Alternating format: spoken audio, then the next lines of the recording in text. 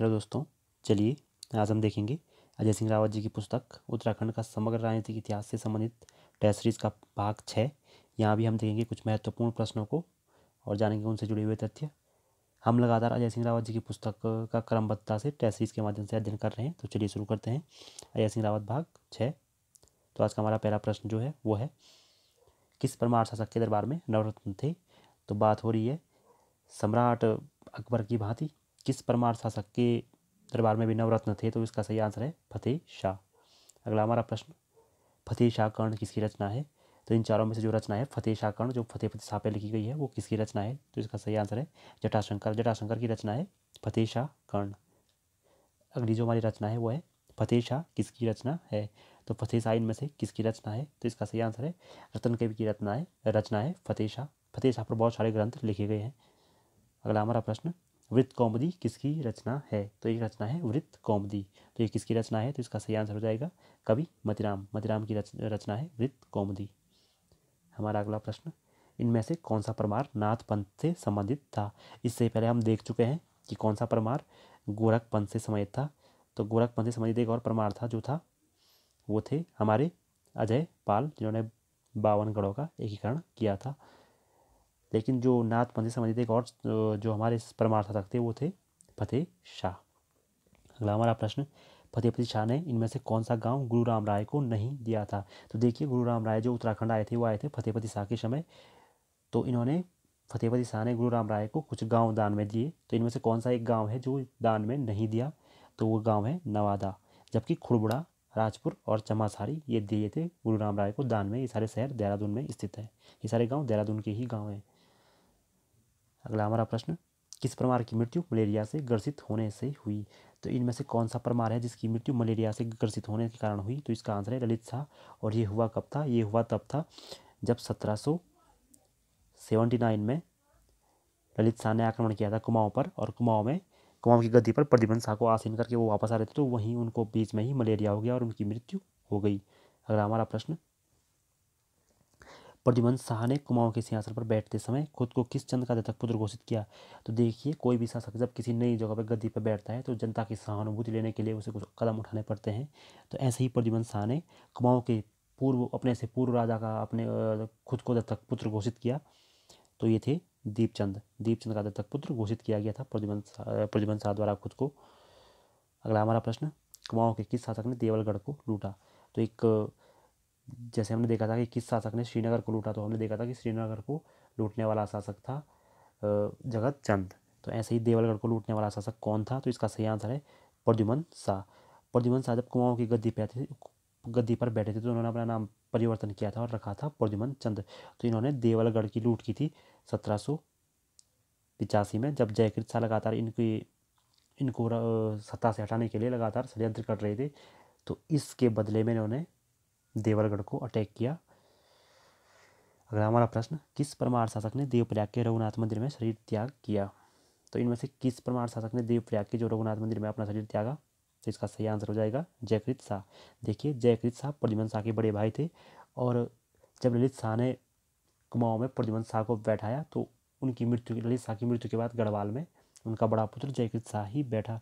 लेकिन दरबारी षडयंत्रों के कारण परेशान होकर इन्होंने राजगद्दी छोड़ दी। और रघुनाथ मंदिर में चले गए, जहाँ इनकी मृत्यु हो गई। रघुनाथ रघुनाथ मंदिर जो है, वो श्री राम से संबंधित एक मंदिर है, जो द्रविड़ शैली का मंदिर है, देवप्रयाग संगम पर। अगला हम देखेंगे, सत्रह सौ पिचासी ईस्वी में हर्षवर्धन जोशी, हर्षदेव जोशी और मोहनचंद के मध्य कौन सा युद्ध हुआ? तो कुमाऊं चंद वंश का एक दीवान हर्षदेव जोशी, जो कुमाऊं की गद्दी पर भी बैठा, और मोहनचंद जो दो बार कुमाऊं की गद्दी पर बैठा, उनके मध्य जो कौन सा युद्ध हुआ था तो इसका सही आंसर है पाली गाँव का युद्ध, उनके मध्य हुआ था।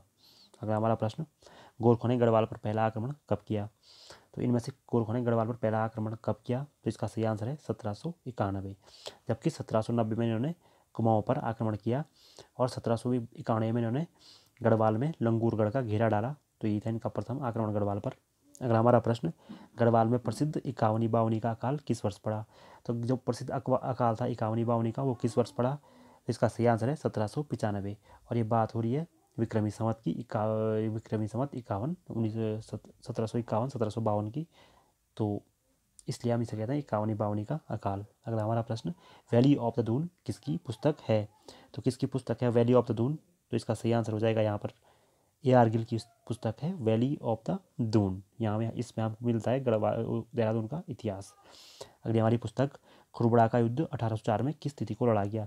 तो प्रसिद्ध युद्ध है गढ़वाल के इतिहास का, परमार वंश का। यहाँ पर अंत हो गया था। खुरबड़ा के मैदान में, जहाँ पर मारे गए थे हमारे प्रद्युमन शाह। तो ये युद्ध हुआ था चौदह मई को 1804 में। अगला हमारा प्रश्न, कुमाऊं का पहला गोरखा सूबा कौन था? तो जब कुमाऊं में 1790 में गोरखों ने अपने साम्राज्य की स्थापना की और चंदों का अंत किया तो उनका जो पहला सूबा था, शासक करने वाला कुमाऊं में तो वो कौन था? सूबेदार जिसको हम कहते हैं तो वो था जोगमल शाह। उनका पहला सूबेदार था कुमाऊं में। अगला हमारा प्रश्न गोरखों ने प्रसिद्ध लंगूरगढ़ का घेरा कब डाला? तो हम बात कर चुके हैं गोरखों ने गढ़वाल पर सत्रह सौ इक्यानवे में आक्रमण किया तो यही था लंगूरगढ़ का घेरा सत्रह सौ इक्यानवे। अगला हमारा प्रश्न, गोरखा शासन में कामी क्या थे? तो मतलब गोरखा शासन में एक शब्द निकल कर आता है, कामी। तो किसके लिए प्रयुक्त ये शब्द था? तो इसका सही आंसर हो जाएगा, शिल्पकार। शिल्पकार वर्ग के लिए प्रयुक्त ये शब्द था, कामी। अगला हमारा प्रश्न, गोरखा शासन में कठुआ क्या थे? तो कठुआ शब्द किसके लिए प्रयुक्त होता था?